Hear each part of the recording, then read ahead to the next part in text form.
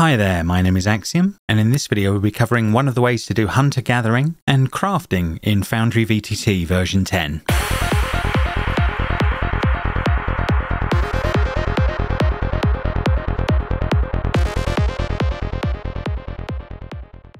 Okay, so in this video we're going to cover a couple of the Ripper 93's modules. To get these you do need to be a Patreon of the Ripper 93.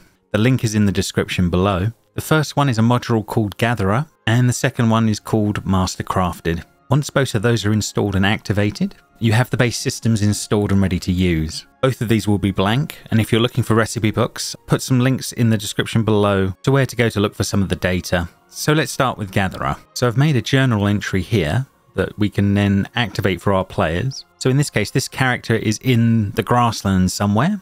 They want to do some checks for gathering some materials. These are the possible items that can be found and how many times they can look for these if need be. But yeah, I can say make a gatherer check and they, they can then click on the mini game. It will then start spinning, but you can then hit gather. And then if we go here over across here, we can see that that player found six dream lilies and they can click in here and have a look at the item, etc. So this is great with all the different tables for different areas that are available. This means that you can then have all this set up and just make them do checks and set how many times a day and they can start gathering resources. Now this is all well and good. We do need ways of making these into something crafted and that's where master crafting comes in in. If we go up to the items section here and find the recipe manager, these are all the imported books that we have, but you can create as many as you want or new recipes as you need.